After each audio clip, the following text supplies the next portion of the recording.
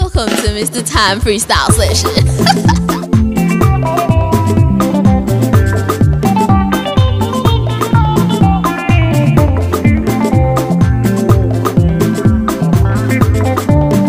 the Time Freestyle Session.